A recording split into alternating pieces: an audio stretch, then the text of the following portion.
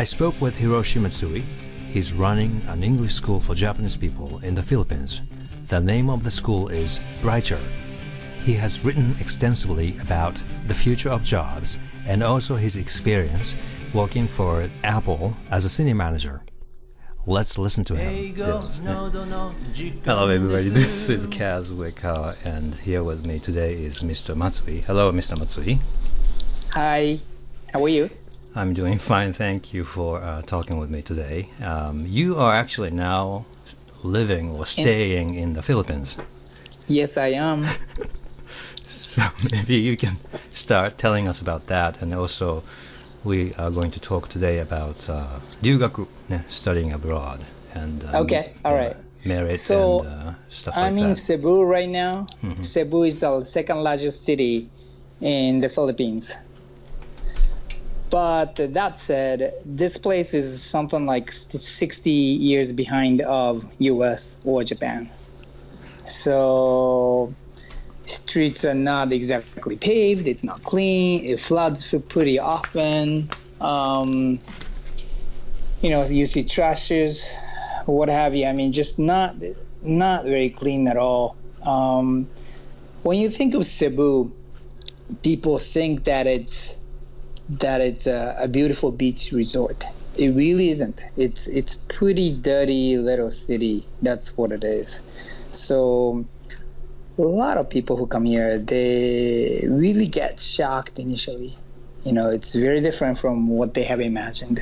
And that was true to me as well. I came here and I was like, is this it? You know? And, um, but uh, I'm used to it now. I've been here a while. And that, um, you know, just like only less than a week ago, I got my computer stolen in, in uh, this bus called Jeepney I couldn't, I didn't even notice.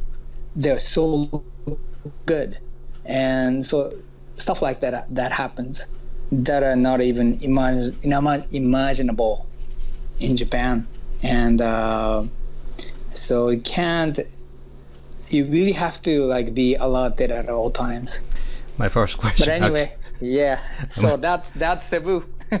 I guess I'm going to start with my first question. So, what do you think is the value of studying abroad, uh, generally, or in such a tough or different environment from Japan?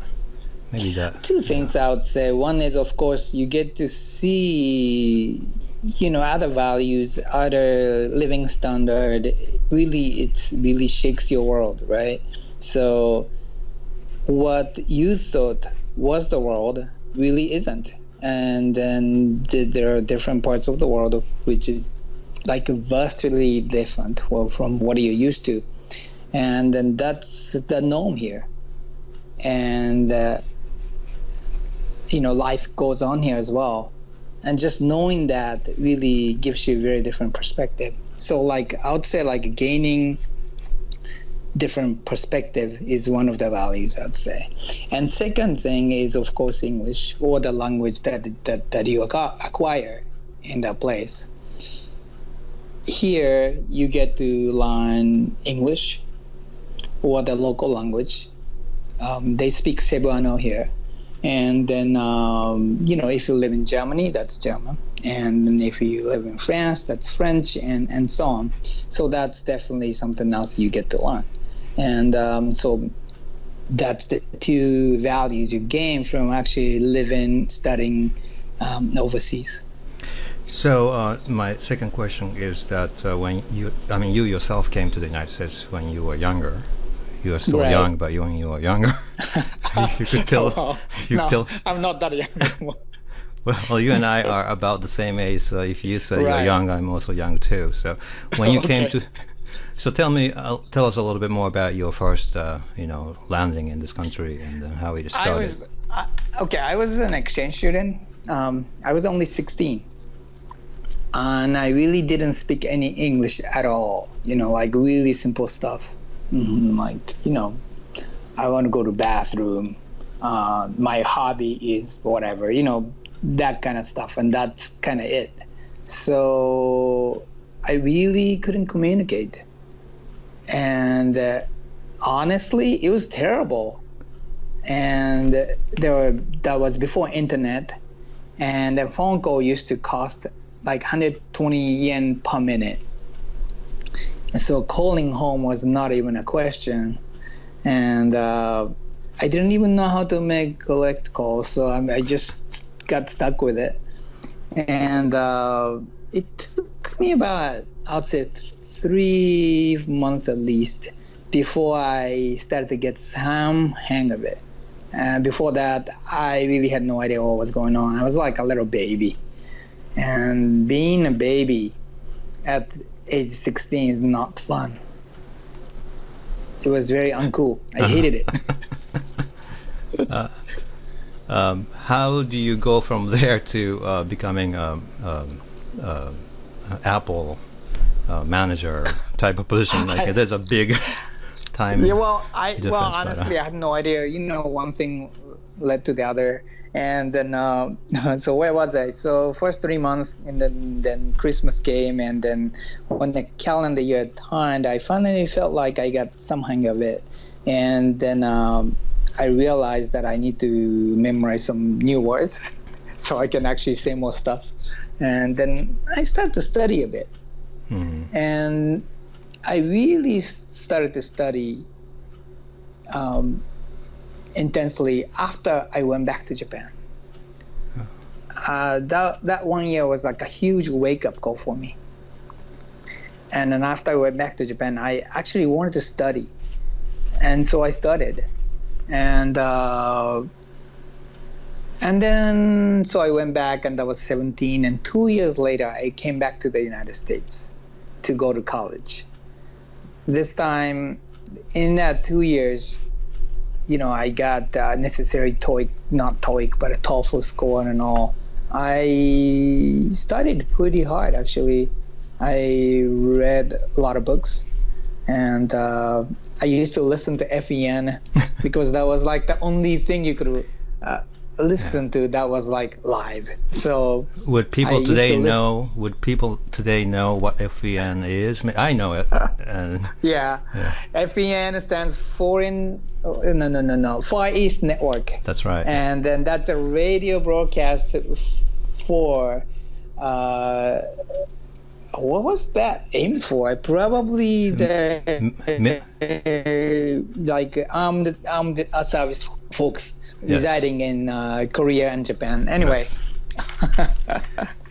yes, I used to listen to that, like American Top 40 and all that news stuff, you know. Then uh, gradually I p- picked it up and then I gained more uh, words and I read a lot of books. And that was like I had to go to like Kinokuniya in Tokyo in order to buy anything at all. And uh, so every time I run out of books, I went there, I bought four or five new books, and I came back and I read again. And and took me at least two weeks to finish any book at all. And uh, but I, because it was so expensive, I actually did finish every single one of them. Um, and uh, well, so I didn't have a whole lot of choice, um, but oh. I managed. I wanted to uh, mention one thing, which is you said that the first year you were here in the United States was really tough, but when you went back, you know, you started really taking things seriously. And I feel yeah. like that is really interesting because even for me, I studied in the United States when I was a college student. When I went back, things were a little different. Like mm-hmm. I was able to speak better better English than other students, so it was kind of easy for me to make American friends in Japan, for example. Yeah, yeah, and yeah. And that became yeah. advantage for me. You know what I mean? Yeah, I had that too. Yeah, I had yeah. that too. I went so, back and I made some American friends in Japan, so I was able to like keep up my conversational skill, which was good. But at the same time, I knew I was lacking a lot of stuff in order mm-hmm. to study in the states um, you know, I didn't know any difficult words, big words. Um, so I couldn't read any news articles. I couldn't really do much at all. So I really wanted to gain that, and I put a lot of a lot of time into that. Yeah, and I'm glad I did. So you know, many people wonder, oh, I gotta I want to study in America or something, and they say, but I have to be prepared and I have to study this, and I got to be really better than this before going to the United States or in other to other English-speaking countries. But it may be better if you just go and experience it, then- yeah, then, yeah, then suffer a little. suffer a little, and then let's start from there, right? yeah, yeah, yeah. And uh, it, it's it's gives you a wake up call. You know, it's like, Right. oh my god, what I do. You know. Yeah. So uh, that- that really worked for me. And uh, but the problem with that approach is that there are a lot of Japanese living everywhere now, unlike our time. hmm And so you ended up probably hanging out with other Japanese folks, and that will just stop you there, you know? So you gotta stay away from uh, Japanese, Right. I you actually know, also my folks living in the area that you move into. There's something good about trying Oops, to uh, there's something that's great about running away from um, how do you say your own people i mean you will be Right, speaking right, english the whole right. time Uh-huh. and um, i actually went to mexico city when i was studying in america uh, because Mm-hmm. i felt that there some of the reasons was uh, there were too many japanese influence in california Oh, and then, yeah. Yeah. And then I went to Mexico City to study Spanish. And the Mm-hmm. people who I studied Spanish with were English speaking people. So I I ended up see. I ended up improving my Hanging out English with, well, hanging okay, out with that's funny. Americans in Mexico City Yeah. finally. So Okay. you know, when I went to Europe, I kind of did the same thing because uh, I was traveling alone, and then every time I stayed somewhere, I was easy to find somebody who speaks English, typically American students who are traveling during the summer. So I ended up hanging out with them most of the time because, you know, we could communicate. And uh, that was weird feeling. So there's a kind of a unconventional uh, irregular way of finding a good place to study English, I think. Right, right. And then also, like, you know, when I went back to college, that was very different experience from being in high school. Uh, things are a lot tougher. Um, you know, I had to graduate, so I really had to study. And then, of course, the hard first year is the hardest. They give you a lot of assignments, and I had to to read and write and read and write every single day. I stayed up to two, three a.m. just about every day um, during weekend weekdays. I don't think I've studied that much ever than that the, my freshman year. And after second year, things gotten easier. But uh, freshman year was hard, very hard. But I'm glad I went through that era. Maybe as a result that- of that, as a result of that, you can yeah. read faster. and, oh uh, yeah, read you can faster. write better. Yeah. Yeah. And you gain vocabulary, so you can actually have a more action. You know, it's not just chatting with your friends anymore.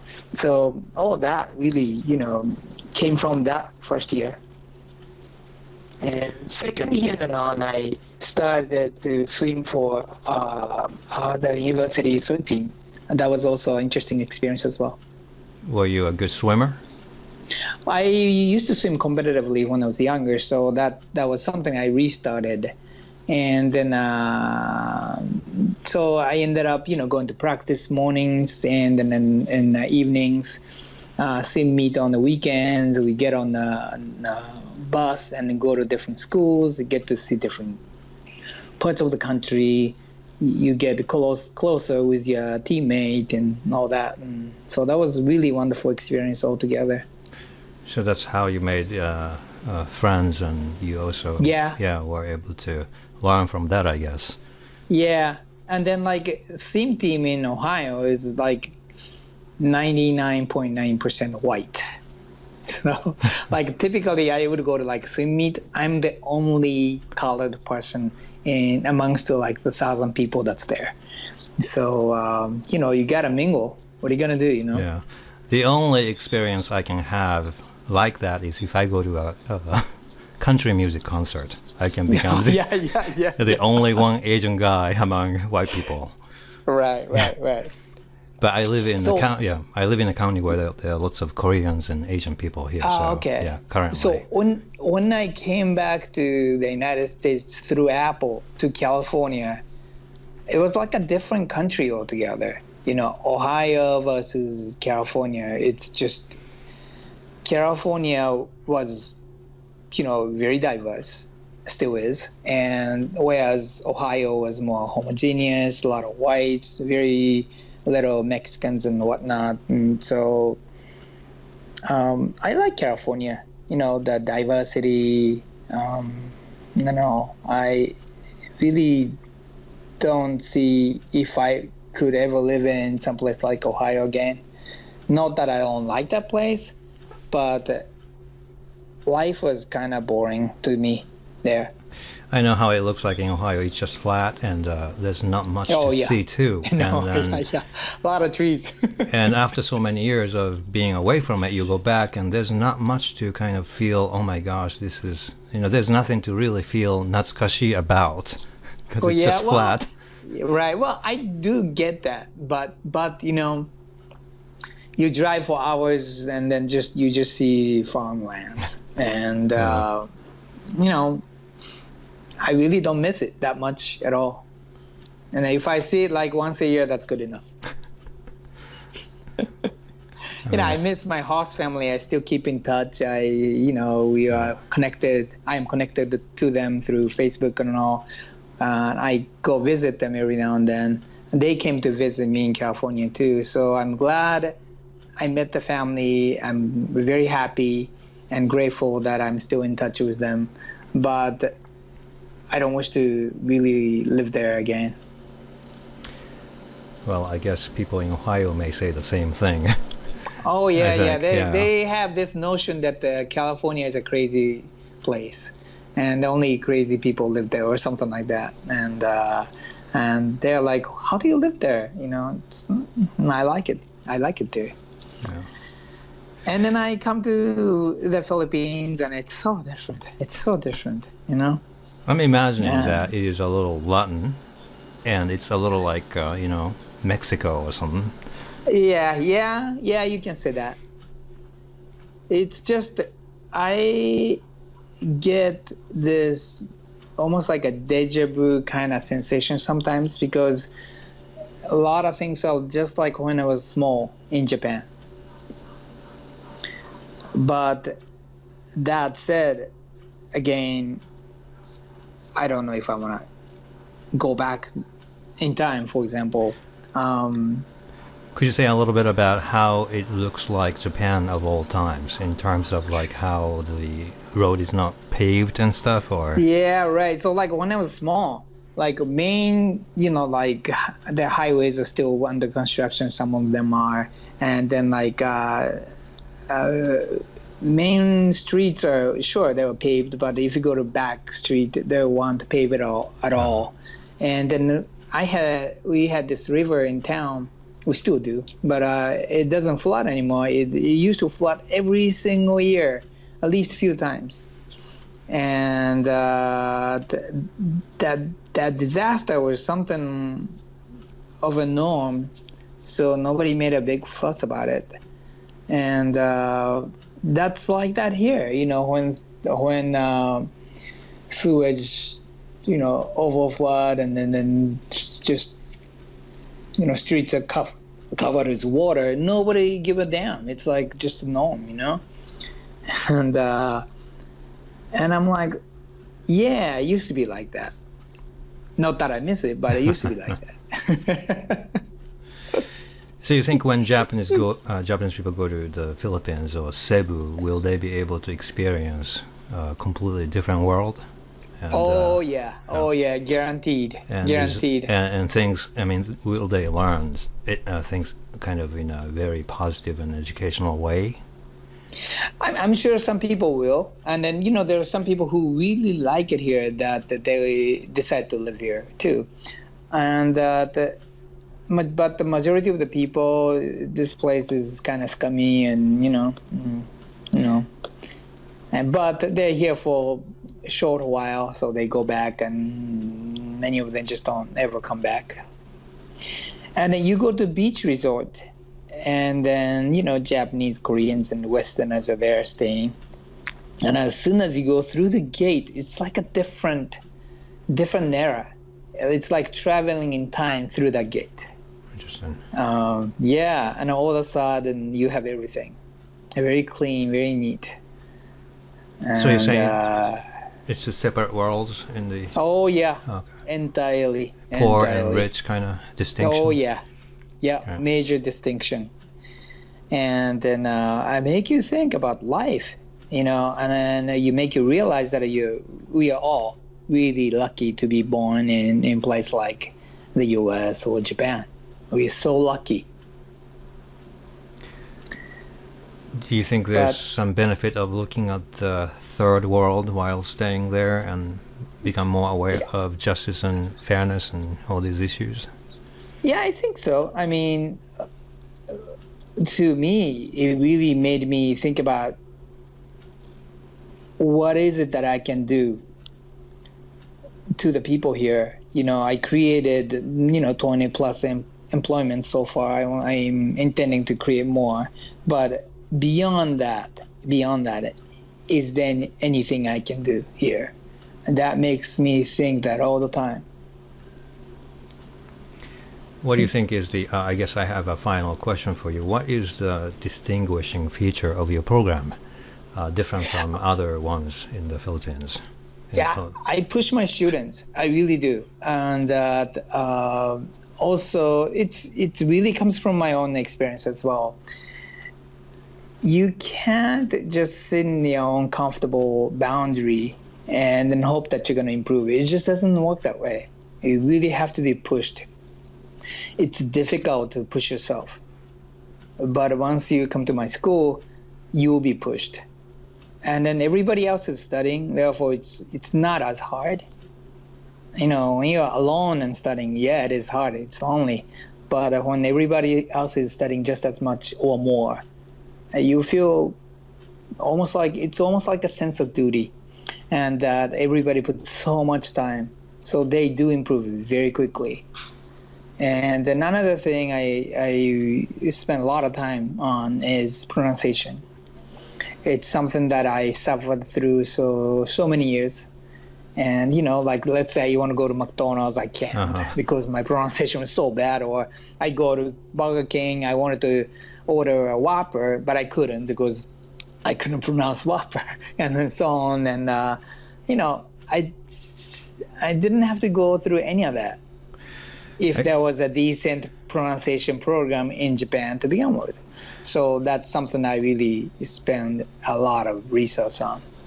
It's almost like a pronunciation is the basis, and actually English or any languages used to be spoken without written languages for the longest time in the history of human beings, right? Right, right, essentially, right, the- right. any languages are sound-based languages. So. Yeah, yeah, Yeah. exactly.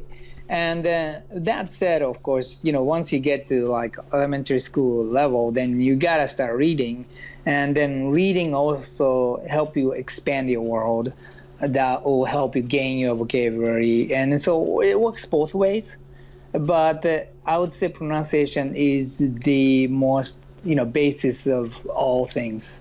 I almost think I am trying to make it sound a little exaggerated, but uh, what if we just learn any language without learning how to write it or read?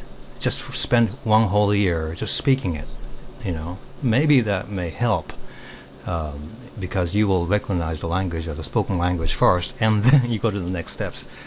Or would, would you- yeah, you, know that's that's what that's what babies do essentially right, Uh, and that uh, they go three four years without ever reading anything. But you know i run daycare right? And then i read books to the, the kids and they gain interest their interest towards writings very, at the very early age uh, they point at letters go what is this? What is this? Then they want to make the sense out of the world.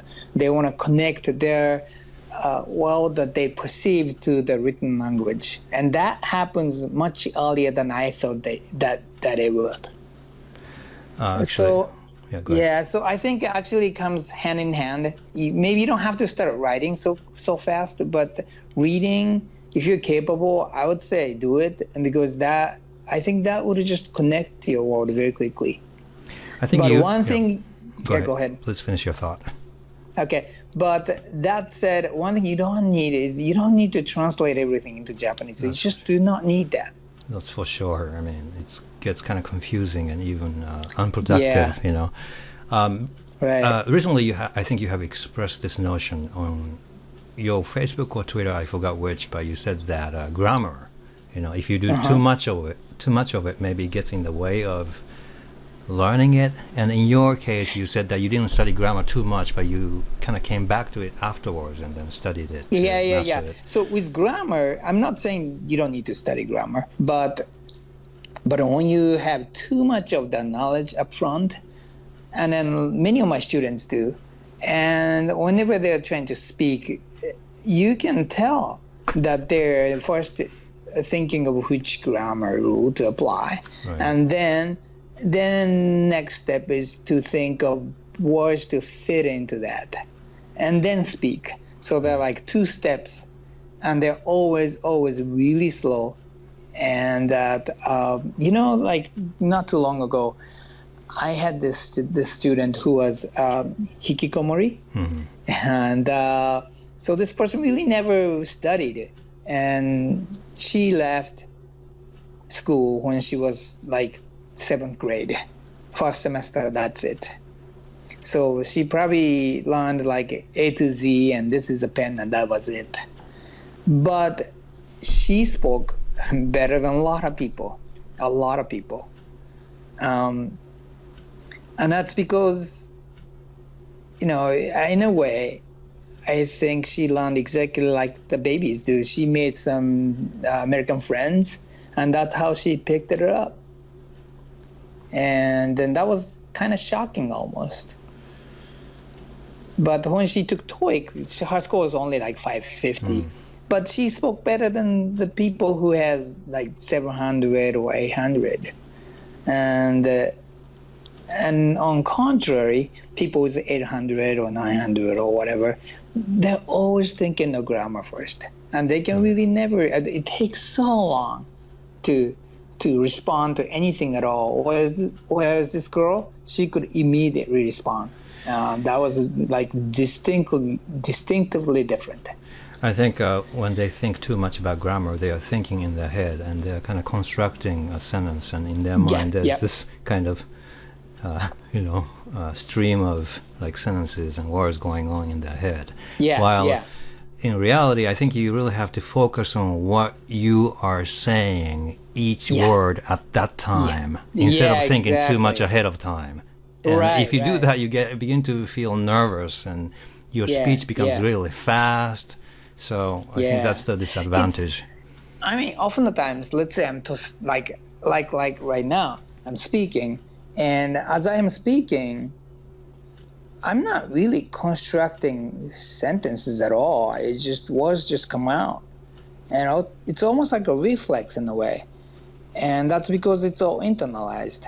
And then how do you internalize a language? That's the biggest question I've been trying to answer you know, uh, it's really strange, you know.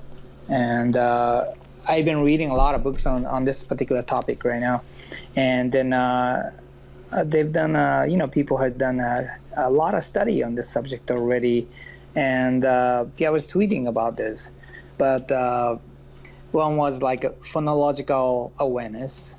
It's the awareness of towards sound and some that's something you develop when you're a baby. and uh, all, there are five elements, um, uh, and uh, that when I read about this, it just made sense. And then there wasn't so much on grammar. There was like nothing about grammar really, but it's the connection of words, right? Even the like two-year-old, they would never say car red, but they would always always say red car, white car, uh, say you know hot water. They don't say water hot. And a young child never mistakes uh, even the how to use the, for example. exactly, So that's a mystery It's either Yeah. babies or young children are smart, or it is possible that the English grammar is actually simple. Yeah, it's you know two year old would say it right, and then learning grammar doesn't help. It really doesn't. And then people who have really high score in on TOEIC, nine close to like you know uh, 990 or even higher, you know the, the the the perfect score, they still messes up articles. Right. Yeah. It's a mystery, isn't it? Yeah, it, there's there are some general rules on it, of course, but it's about how you develop the sense of oh, it doesn't sound right. You know what I mean? When when it's not when it's not right, it just just doesn't sound right to you. My view on this is that the English language is actually very easy, and it's the mm-hmm. language that you can speak while thinking. Isn't Yeah, it weird yeah. that you and me can speak without really knowing how to finish my sentence? But Yeah, I exactly. Can, I'm like I'm I'm constructing as I speak. Right. So that's that doesn't mean that you and I are so super smart, but the language is like this. You can think. I'm thinking right now. I'm thinking and speaking. I can think and speak at the same time. That's not Yeah, because yeah, I'm yeah, smart. It's because the English allows that. But on the other hand, maybe know- yeah, Japanese probably is the same or a little different. I'm not sure. Yeah, I think it's the same. It's just that that's English hadn't internalized for you and me. Right. But when it's not, it, you have to think. And, uh, you know, like uh, Bruce Lee said, don't think, feel. I think maybe that there is some truth in that. Right, right. All right. On that note, uh, uh, thanks for this conversation, and Sure, I think uh, sure. Thank people you. have uh, lots of interesting things to learn from this conversation. Thank you very Mm-hmm. much. Sure, thank you. はい。という感じでいかがでしょうか。はい、ありがとうございます。 If you want a cookie, people have to subscribe to this channel. You get a cookie per subscriber. Okay? Ask people to subscribe to this channel.